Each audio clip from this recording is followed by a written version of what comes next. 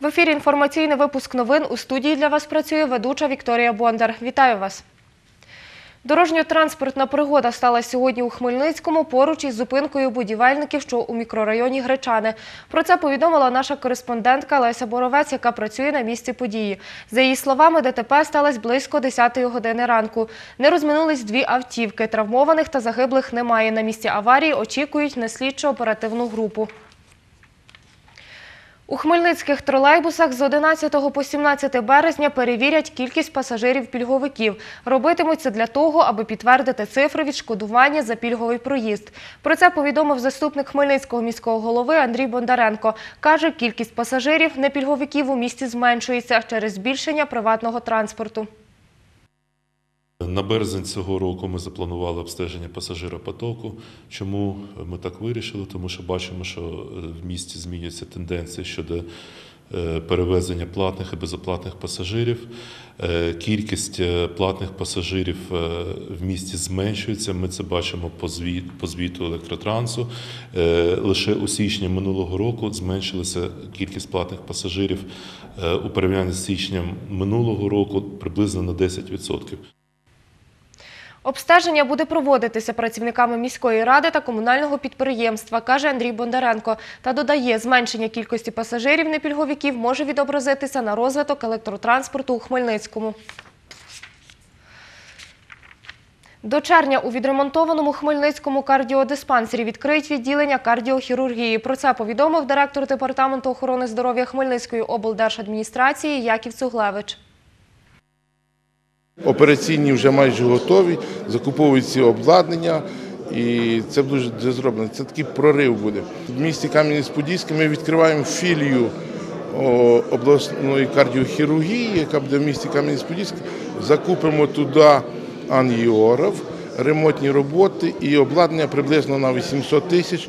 І в місті Кам'янець-Подільський вже буде центр реперфузійної. Перший дворовий там буквально зробити косметичний ремонт і закупити невелике обладнання. І ми це зробимо.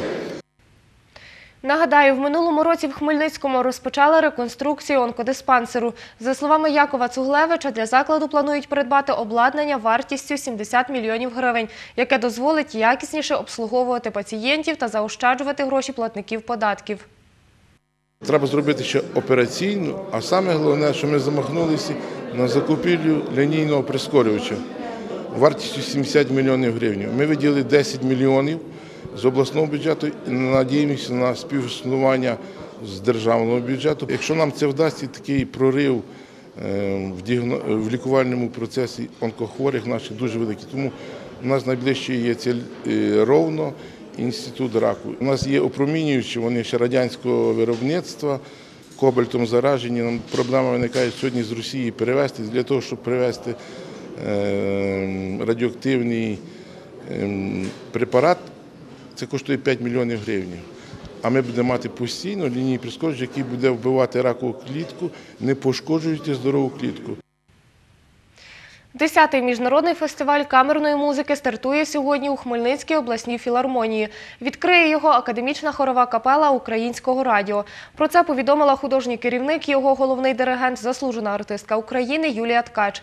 За її словами, у програмі звучатиме ораторія сучасного українського композитора Ігоря Щербакова «Великого бажайте» на текст заповіту патріарха Йосипа Сліпого та канонічні тексти. Тут поєднано тексти зі святого письма християнських молитов та заповіт патріарха. Хорова капела Українського радіо в Хмельницькому виступатиме вперше. Розпочнеться фестиваль камерної музики о 18.30.